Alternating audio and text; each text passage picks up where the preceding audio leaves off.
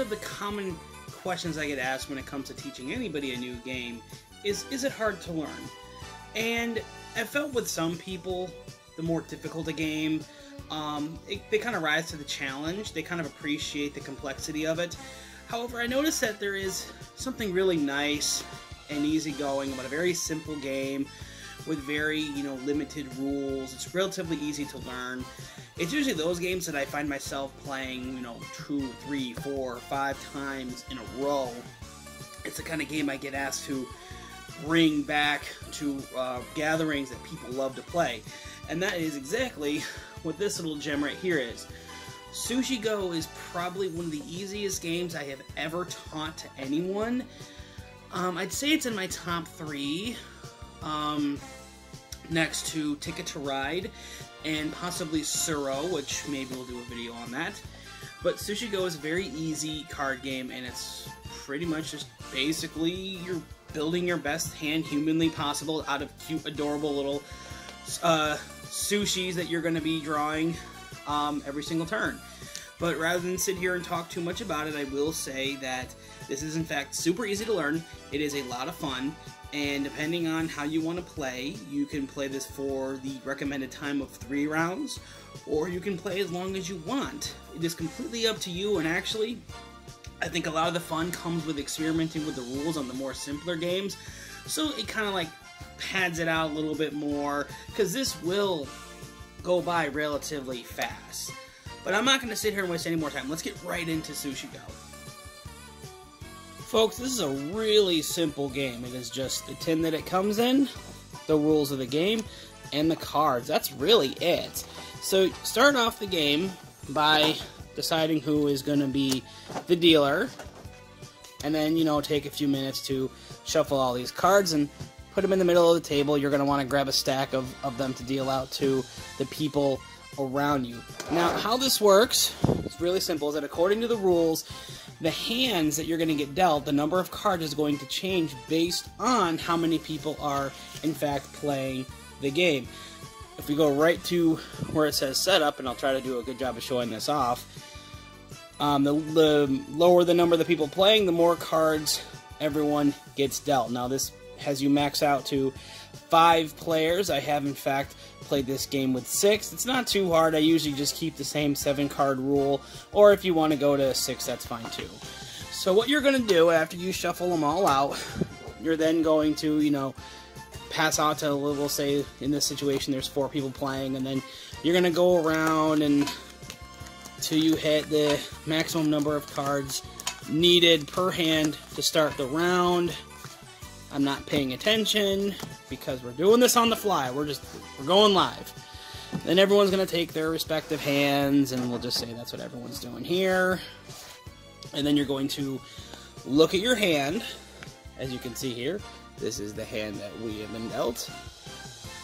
And you notice there's a lot of different cards that have say a lot of different things and you may get a little confused with it. That's okay. But here's how it works. I'm going to show you how turn works, and then we'll get into card explanation, and that'll wrap everything up, I'd say, with a nice little bow. So what you're going to do on your turn, you're going to take any one card in your hand that you want to keep, you're going to set it down in front of you, you're then going to take the rest of your cards, and then pass them to the person on your left, and then everyone's going to repeat the same, and then and then the person on your right is then in turn going to pass their cards to you, and then everybody is going to reveal what card they have selected, and that's going to be their lot for the turn, or their their basically like their their sushi line, however you want to call it. But the cool thing about this is that each of these have really cool special abilities. Each of these cards do different things, and I'll show you what they are right now. So here are the cards. Guys, uh, first of all, let me just say these pictures are absolutely adorable. I love them. I, I wish the the plushies were widely available. You can purchase them; they are expensive though, but I love them. And the Sushi Party Go has several different more cards, which just kind of adds to the overall aesthetic. It just it makes sushi so adorable. Give me a give me a thumbs up if you think that the sushi here is adorable. But anyway, so yeah, every one of the cards does something different, and we'll kind of go in a we'll kind of go in order here, starting with right here we have this right here, which is called uh, sashimi. I always pronounce that wrong. You notice it says sashimi times 3 equals 10. Now, what that means is that by the end of the round, meaning that when there are no more cards to pass to the person on your left, that ends the round, you figure out points. If you have three sashimi sitting on your side of the table, basically what you set down in front of you, you get 10 points. Over here we have tempura shrimp, or just tempura. Um, uh, tempura times 2 equals 5, meaning you need to have at least two of these in front of you to get 5 points. If you only have one, you get nothing. Down here, you notice I have these three cards just kind of chilling together. These are the nigiris. You have an egg nigiri, a salmon nigiri, and a squid nigiri, uh, respectively 1, 2, and 3 points. And honestly, they're just little filler points. However, the cool thing is if you have this bad boy, and you play it before you get any one of those. The wasabi, it says next nigiri times three. So let's say um, opening hand, you get this, you put it down, you flip it, and then you get the nigiri. Okay, well then on next turn, um, the person's hand that just got passed to you, they have that bad boy in here. You take that, you put it down, and when you then reveal, it's squid nigiri, and because you played the wasabi before it, the next nigiri, meaning this, the next nigiri card you just played, is three times their point value. So this right here is nine points. So that's a pretty good way to get nine easy points. Um, and you just do that with any of them. So if you did it with the egg, you get three. The salmon, you get six. So interesting little combo there. We got dumplings. These adorable little dumplings. You notice at the bottom it has weird little points. Uh, that make no sense. Um, pretty simple stuff. The numbers correspond with how many dumplings you have on your side of the table. For instance, if you have just the one dumpling, you get one point. If you have two dumplings, you get three points. If you get three dumplings, you get six, and it just keeps going on. If you have four, you get ten. If you have five, you have fifteen. So that's a good way just to accrue extra points. Over here we have maki rolls, and this is a little more complex to explain. Maki rolls, you'll notice that they have just one on here. Now, there are cards in this deck that are going to have two as well as even three Maki rolls on them. Now, at the bottom, it says Maki roll most six parenthesis, uh, yeah, six parenthesis three. Now, what that means is that whoever has the most Maki roll that one round is going to get six points, and whoever has the second most is going to get three points. Um, if there are ties for either first or second, they end up splitting the points. As second place, if it's split, it just goes to one point. So you'll notice there when you're playing, you'll have one Maki rolls that have one or two or three symbols at the top. So if you're going for the most, you definitely want to keep an eye out for those much larger ones. Now these two down here are those are the problem child. These two are a little harder to explain. So we'll start with the easier one, the pudding. The pudding by themselves do absolutely nothing. These are end game cards. How this works is very simple. If you see one of these in the, in your opening hand or in someone else's hand that gets passed to you, and you choose to keep it, and then you play it, at the end of the round, it does nothing. But after three rounds, you'll notice at the bottom, it'll if, if it'll focus, at the end, it says most six, least negative six, meaning that the person with the most puddings overall throughout the entire game gets six extra points added to their total. Whoever has the least, meaning even zero, they'll get six points taken away from the total. The chopsticks are the hardest ones to explain. How this works is very simple, but it's also a little complex. Alright, so you get one of these bad boys, you play it down.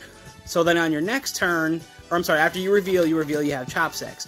So when the person's hand comes to you, on that turn, what you can do is then take two cards from their hand and then put the chopsticks back in that hand, and basically you just swapped out uh, two cards for this, and that inevitably will be a dead card for someone uh, hopefully not you by the end of the round. You'll understand it more when you play on your own, but essentially somebody at the end of the round will get stuck with the chopsticks, and by themselves they're worth no points. However, if you get them early enough, and maybe you get them with a wasabi with a nice nigiri, that's a neat little way to get some extra points. So those are the cards, this cute little sushi family, and honestly, that's really it. The rule book does a fantastic job trying to keep all of these, like all of how this works intact. But I honestly, I explained it all. There's really not anything else to add to this. Again, have fun with it, experiment with the rules, and see what becomes of it, guys. Like, have have five round games, have ten round games. Go for the moon. There's no limit to where you can end this. And that's Sushi Go, a very simple game that anybody can learn how to play. It just takes a few minutes to learn how the cards work and to get a feel for the game. Honestly, this is again one of the easiest games I've I've uh, tried teaching people, and it's a a big favorite every time I bring it to the table. Hold on one second. anyway, um, I will say the pro, like I said, the pros of the game are it's really quick. Anyone can learn it in a good amount of time. You can adjust how many rounds you want to play. Basically the same thing I've been saying the entire video, but I can't emphasize it enough. When a lot of games don't allow you to really play with the rules that much. The cons, um, I feel like it's a game, depending on some people, it will, it will feel like it's getting a little old. But I haven't had that happen with me. I thoroughly enjoy the game. Um, I definitely say the chance factor is relatively high because you don't know what cards you're going to get.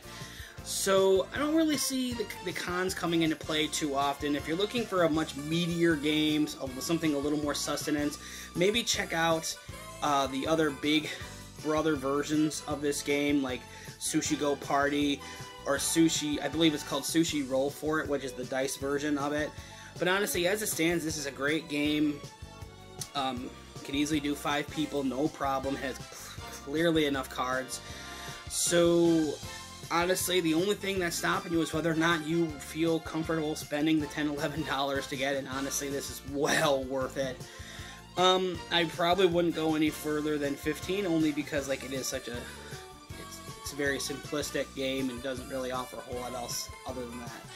But anyway, guys, thank you very much for watching this episode. If there's a board game that you'd really like me to talk about and maybe break down, let me know in the comments below. Be sure to like the video.